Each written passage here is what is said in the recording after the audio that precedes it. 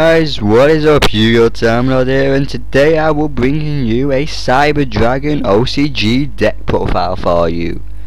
So yeah guys, um, yeah basically with this deck profile, we will be going through the new Cyber Dragon support, and, well, what it does, new cards that is, for the ones who do not know. Also, I would like to give a shout out to Oblivion Zombie for this deck build since and I have tested it a few times and it works brilliantly. So yeah guys, um, let me know in the comments below what you think about it.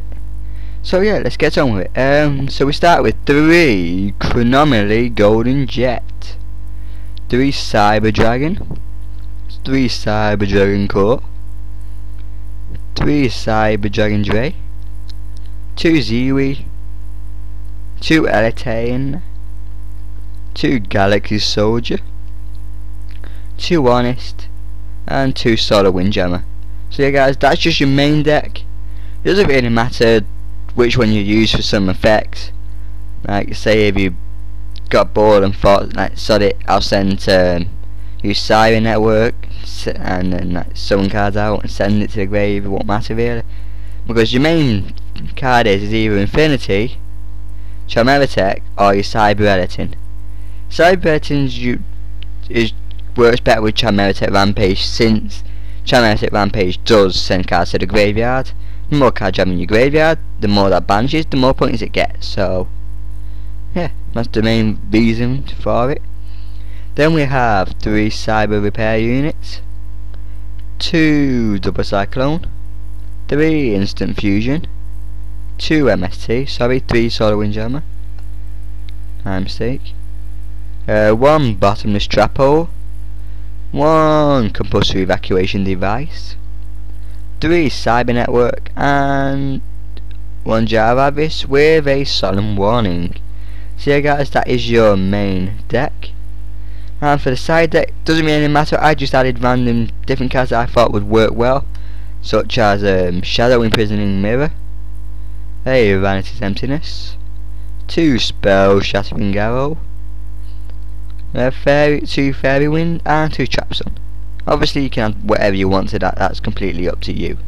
So now for the extra deck, we have three Chimeric Over Dragon, uh, three Chimeratech Rampage Dragon, and for ones who don't know what it does, um, I'll tell you now. A fusion summon of this card can only be done with the above fusion materials. When this card is fusion summoned, you can tag an any number of spell or trap card on the field up to the number of fusions you use. Which you very rarely do because you can just use instant fusion and bump It's on the field quickly, can use the effect. And then you just basically, once per turn, you can send up to two light machine type monsters from your deck to the graveyard and if you do it gains the attack for every one. So you gain up to three you can have three attacks basically. So yeah guys that's pretty much that. Um, for some reason someone sent me a message. Hi. Hello.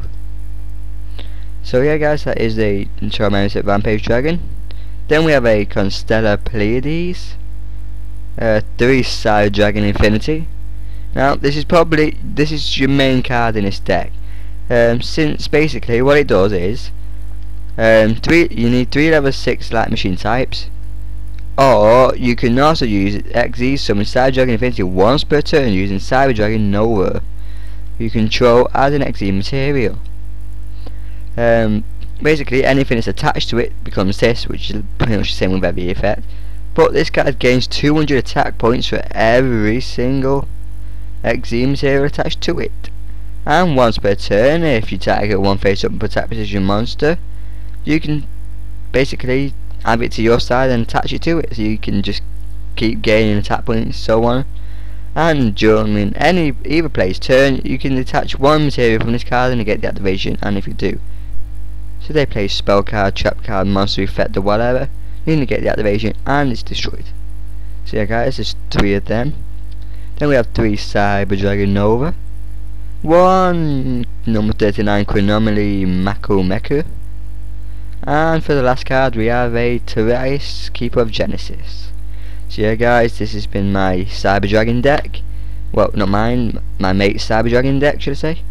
And I would like you to tell me what you think down below in the comment section um, about this deck, and also please like, as always, and don't forget to subscribe if you're new to the channel for more daily content. Well, basically just daily content because I do whatever I feel like really, but mainly Yu-Gi-Oh. So yeah. Um, this has been your boy Yu-Gi-Oh! Time Lord, signing out.